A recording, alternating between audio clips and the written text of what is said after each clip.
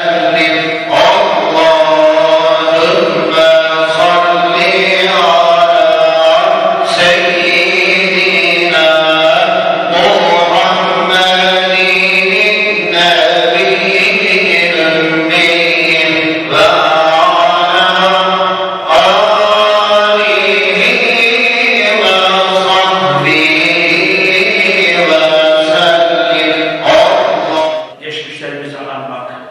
Rabbimizin rızasını kazanmak ve birlikte millet olduğumuzu hissetmek adına bu akşam güzel mabette, camide toplandık hep birlikte. Çok teşekkür ediyorum bu güzel akşamın tepkilmesinde el muhtarımızın çok büyük katkıları oldu. Allah razı olsun.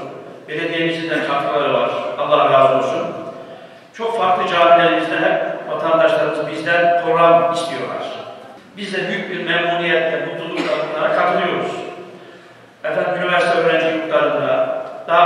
mekanlarda, yine başka camilerimizde, efendim vatandaşlarımız hocam diyorlar, bir araya gelelim, okuyalım, dualar edelim diyorlar.